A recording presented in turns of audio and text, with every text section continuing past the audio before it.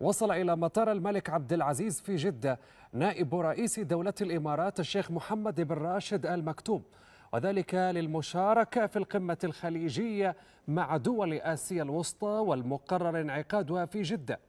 وكان في استقباله بمطار الملك عبد العزيز الدولي نائب أمير منطقة مكة المكرمة الأمير بدر بن سلطان بن عبد العزيز.